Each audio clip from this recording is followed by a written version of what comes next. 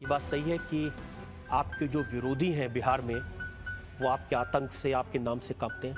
नहीं अगर ऐसा रहता तो उनको तीन लाख वोट्स कैसे आते? आपका इतना आतंक है कि जब चुनाव होता है तो सिर्फ़ आपका पोस्टर लगता है सिर्फ़ आपके बैनर लगते हैं ये किसी तो डिपेंड डिपेंड करता है वहाँ के जो लोग हैं जो जनता है। नहीं सबको लगता है अगर हम लग, अगर उनको वोट्स लगता नहीं उनका बैनर तो वोट्स मिलते कहाँ से? आपके जो विरोधी हैं उनको किसी तरह का कोई डर नहीं है आपसे? नहीं नहीं नहीं बिल्कुल ही नहीं। क्योंकि उनके जब बयान हम अखबारों में पढ़ते हैं वो तो कहते हैं कि शाहबुद्दीन जब सोते हैं तो हैंड ग्रेनेड अपने तकिए के नीचे रख के सोते हैं। और ये सही है कि करीब 500 लोगों की फौज है जो आपकी सुरक्षा करती है प्राइवेट आर्मी आपकी है। मुझे किसी से लड़ाई ही नहीं है।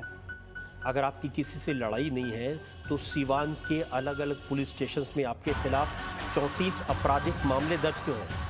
नहीं मैं बिल्कुल आपने सही फरमाया।